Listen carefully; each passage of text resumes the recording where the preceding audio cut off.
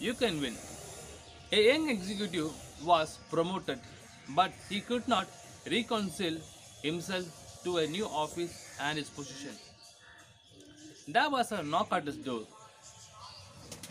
To show how busy and important he was, he picked up the call and asked the visitor to come in. The man was waiting for his executive. Executive keep on talking on the phone, nodding the head and saying, "No problem, I can handle it."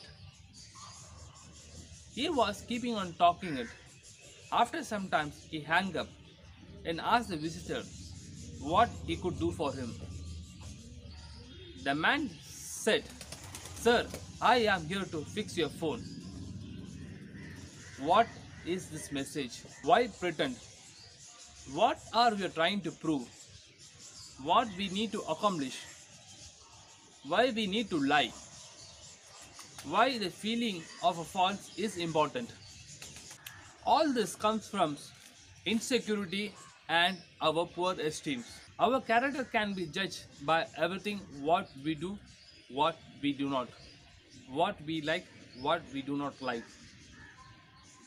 For example, what kind of movie we watch, what kind of music we listen, what kind of friends we keep or avoid, what kind of books we read, what kind of jokes we tell or listen. Every action of our gives us away.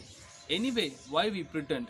I believe that if a person live with conviction, sensitivity and cooperation, he can move other with his effort. That person become worthy of self-respect. You can win. This is here. Thanks for watching. Stay blessed.